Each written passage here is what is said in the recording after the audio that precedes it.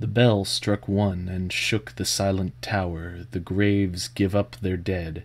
Fair Eleanor walked by the castle gate and looked in. A hollow groan ran through the dreary vaults.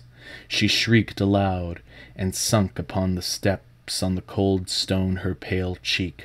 Sickly smells of death issue as from a sepulchre, and all is silent but the sighing vaults.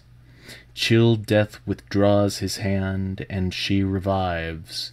Amazed, she finds herself upon her feet, and, like a ghost, through narrow passages, walking, feeling the cold walls with her hands.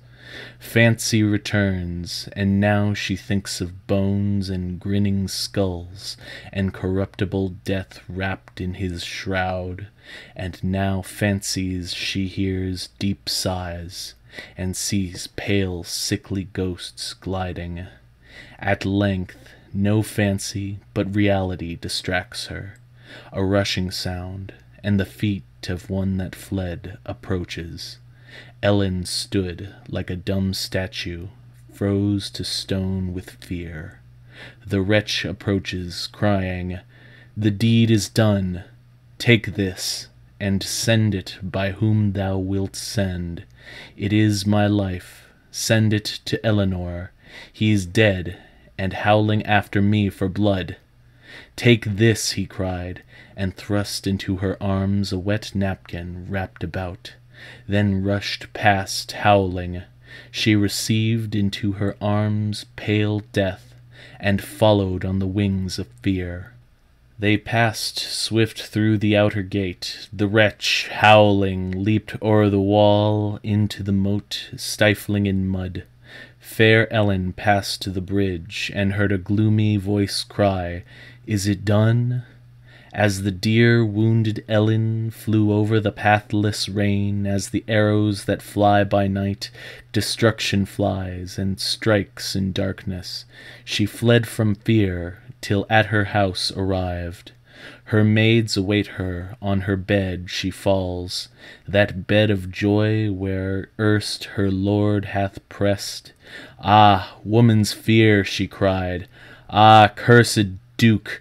Ah, my dear lord! Ah, wretched Eleanor! My lord was like a flower upon the brows of lusty May. Ah, life as frail as a flower! O ghastly death, withdraw thy cruel hand! Seekest thou that flower to deck thy horrid temples? My lord was like a star in highest heaven, drawn down to earth by spells and wickedness. My lord was like the opening eyes of day, when western winds creep softly o'er the flowers. But he is darkened, like the summer's noon clouded, fallen like the stately tree cut down. The breath of heaven dwelt among his leaves. O Eleanor, weak woman, filled with woe!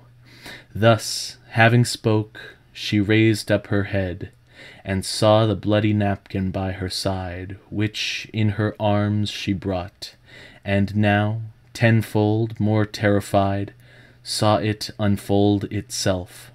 Her eyes were fixed.